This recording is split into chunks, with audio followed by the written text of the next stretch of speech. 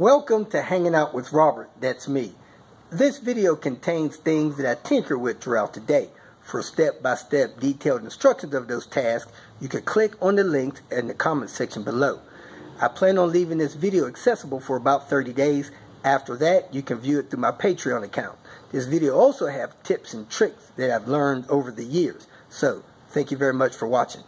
Just arrived LKQ Mount Airy.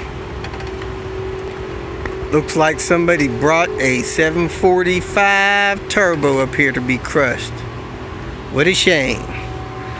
So, don't know what's going on there. That may be the crushing machine.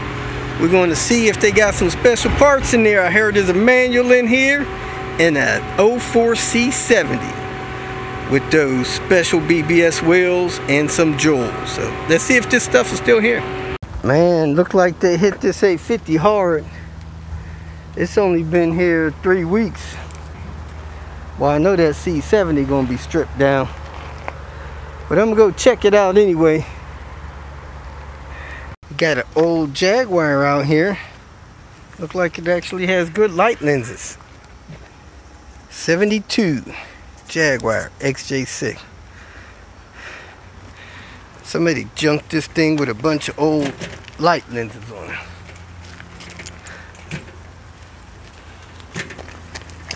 See what else it got in here. Uh, not much inside. Big old engine out there, in there. So, they got the rows lettered. I'm on G. I don't know how that works.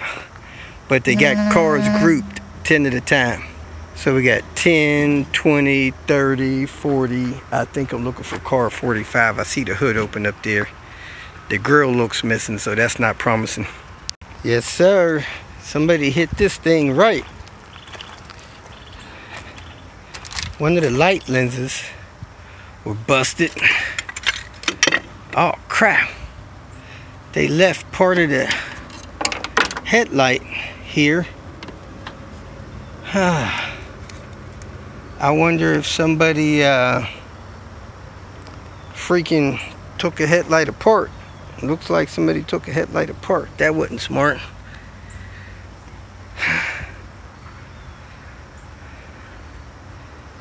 So they took the wheels and the headlights. The two best things. I got you.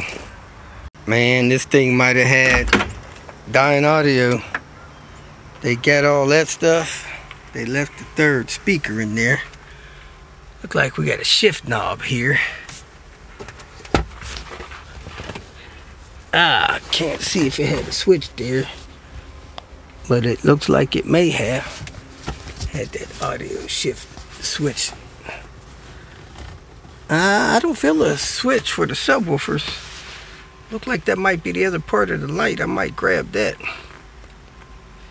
We'll try to get this shift knob off too. These sun visors normally worth something.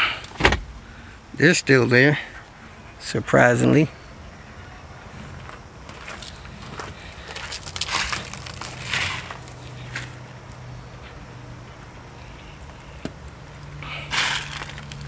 Found this inside the car. Looks like pieces of a Joel headlight, but I don't see nothing on Volvo or Hella on it. Makes me a little leery. But, uh, guess I'll grab this stuff anyway. Probably better than what somebody has if they can incorporate that in their current headlight. This thing has a pretty clean sticker in here. I wonder if this car had been in a front end collision and had that part replaced before. Who knows? That cap's got a split in it. Wonder if this thing came in here because it was overheated. Alright, time to move on. Finally found the word Hella in there. So, I'll go with that. Well, sad to say, looked like some gorilla beat me to this car. Tore up the center pocket. Tore up the center console stuff. Maybe this was already busted up a little bit. the shifter knob is missing the cap. That was not missing in the picture. I'm gonna say the butcher's got that too. Tore up the armrest. Looked like probably to get a good cup holder.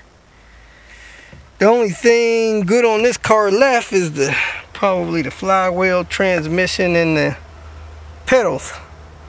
So I'm gonna drop this stuff, grab the pedals. I guess this is probably good too.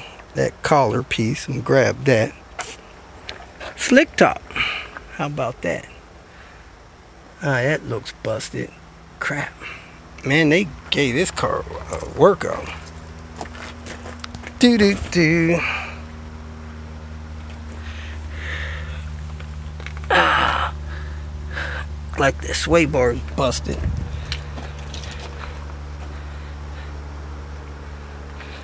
A few other things going on.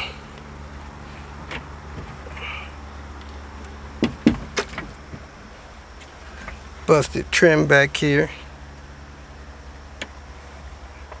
Had a few parts back here. Headlight, whatnot. Like the toolkit may still be here. It's always fun to find black seat trim. If that's not busted, I might take that too. It don't look like these are rusted. These look like they're in good shape. These door window sills. Alright, let me get these shift pedals and get out of the way. Got a couple of these for the wagon in the junkyard. Loaned the guy my tool. That's how I got it back. Wow. Working fine yesterday. the death of another P80 coolant heater core leak.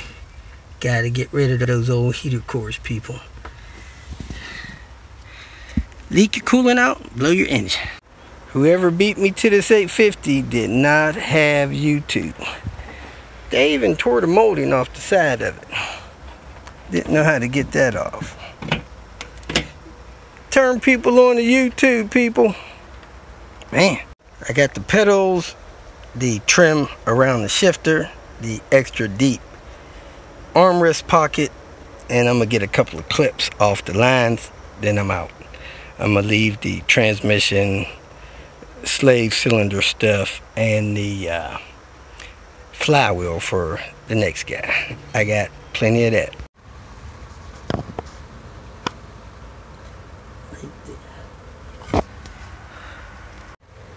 Yeah, I'm gonna leave that clip there and getting that one out. Looks like this 850 got a pretty new alternator on it. Trying to get parking brake parts off this 04 XC70. Got to get these dang uh, calipers off and I need that clip right there. I pulled the handle and the system works so hopefully this stuff will be good. Now I released the handle and it's released should be good to go. Ah, this is interesting. It has some real drum brake stuff on there. But, I'll figure it out. Let me try to get all this stuff out of here. Doo doo doo.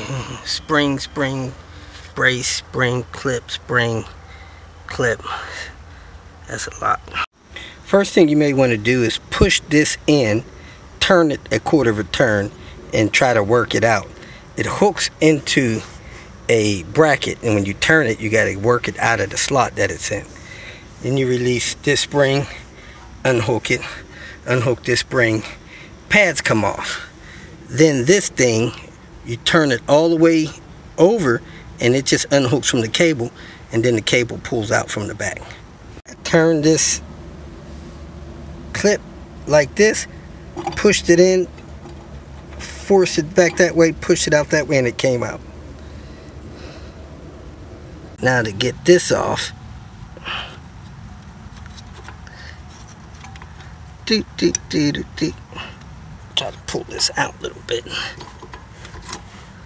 Open this up and just unhook that down and it comes right out. Crap, I don't know if I got that good. It was in there like this I pull this out like this and then I unhook this down and it came right out of the cable. Now the cable just pulls out of the back of the hub. And it's got a clip on that brace back there. Then I got to follow them up, see where they go once they go up there. But this actually comes off of here if you want to pull this off of the cable. So to get the cable out, I wedged the cable up and then it pulled out. I unclipped that piece down there. Now, when you have the cable out, this metal piece will come off the end of that cable. So if you order a cable only, it probably won't come with this piece here on it. That'll cable will push out this way to release this from it. But I think I need the cables. So I'm gonna see if I can follow these cables up, see where they disconnect at. Looks like I gotta get the center console out to get those cables out. So there's a couple screws there. I'm gonna pull this out, pull this trim off, uh, unfasten a couple other pieces of plastic, see if I can get this thing out of here. There's two T25s right there. Use a bone tool, pry that out. You got a couple screws there. T25s. Ah, let me pry this up. You got something plugged in there. And let me see where I go after that. Pried it up, had a clip holding it there, clip holding it there, four along the bottom. Pull that up and off if you want. Now, I should be able to pull the center console up and out of here. I got a bunch of junk on the back of it. Let me get that crap off the back of it. Release these two side panels. Turn those things vertical. Pull them away from the center console. Slide them back. They fall off. Now I don't think anything's holding this on. I could be wrong. Maybe some wires on this back panel or something. Let me open that up. See if I can see what's going on there. Or I'm just going to tear it out and tell you what happened. I lift it up and there is a wire connection there. I'm gonna unplug that. But as you can see, I can see my two cables for my parking brake. I'm gonna undo the parking brake and unhook those cables. Should be able to pull them out of the floor. I'm gonna look under this carpet and see if there's anything else I need to do to get them under the car. Pop this out on the back. I don't know if it matters if you pry from the bottom or the top. Look like you should pry from the bottom unhook it on the top then you should get that wire connection in here unplug that anyway as you can see I have my parking brake cables here. I can unhook those. Now I'm gonna look under this carpet and see what I got to do to get them through the floor. This cable has a grommet there. It just apparently just pulls out like that. And then in the floor, there's just a, a grommet there. Looks like you could just pull it out of the floor there. So I'm gonna push that through, then go into the car and pull them through the floor of the car. Here's the cable system here, coming up this way, so it's under this heat. So I'm gonna move that out of the way. Then I can see the grommet pushing through the floor. Then I'm gonna pull it out there. And there's a bolt holding a bracket there. The one on the other side is already loose. I should be good to go. Messing with this 04 XC90, I'm pulling parts off this 06. It had two T25 screws. I got them out. Then I pulled the unit down. This funny washer fell out. Then this cap fell off. Then under that, there's two solenoids, looks like. So I pulled those. But I'm having a heck of a time getting these connectors. So my buddy Bill told me to get one of these screwdrivers like the tool truck give them pry it in there and pop these loose. So let me see if I can get this connector loose and I'll tell you how I did it. You take this little screwdriver pry it in on the latch like that and when I pried in I heard a pop a little click. That unlatched it. Now it should just pull right off. And it pulled off. There you have it Oh, the back of this unit fell off. Let me put that back on there. I guess that comes off pretty easy. Anyway, there's also an oil pump there. I'm going to leave that.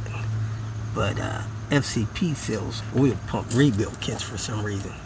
Next, we're taking the brake booster pump with the switch. So I moved the air box, unplugged the switch, goes down to the pump. I pulled the air box support out and there's two 10 millimeters I think I can hit from there and it looks like the plug is down there. So let me pull these 10 millimeters, get the pump lifted up, figure out how to get that plug loose right there. That plug. Hitting those 10 millimeter mounting screws, I was getting nowhere. So I pulled the three bolts that hold the uh, tray in. Now I'm gonna hit this bolt here I'm gonna move that ground, hit this bolt here that's holding this bracket on. I don't know if that's the only one or not. But I'm gonna hit this bolt, see if this thing will lift up and out of there. Had another bolt down there on the side of it right there. I was able to get this on there, then I couldn't get it out. Anyway, finally got it where it lifted up. Now I can see how to unplug it. Probably the easiest way to get it out push this in, pull the wire harness out. That's the pump assembly. Probably wouldn't be a bad idea to test this before I leave the stomping grounds here. So I'm going to take some of this wire harness with me so I can test the pump. Looking at an 06 XC70. Look at those jump seats, man. Those things are cute. I guess just some floor panel that normally goes down here. Even got a headrest that goes up. Somebody dropped the 05. Oh, poor moose. In the junkyard. About four hours later, I come back to the car, four and a half hours. Some guy said he just closed my back door. He said my back door was open just like this. If I left this freaking door open, it's been open for freaking four and a half hours. Nobody closed it. It's amazing. Amazing. Went to the store for Diane. Found a Home Depot. Got my tools exchanged. Husky Boy lifetime warranty with harassment. If you feel that this information was useful, please like it and share it with your social media friends. You can subscribe to my channel so that you will get notifications of future videos that I post. You can follow me on Twitter, and if you need to contact me directly, please visit my website. And if you have any questions, leave them below, and someone or myself will reply to them. Again, thank you very much for watching.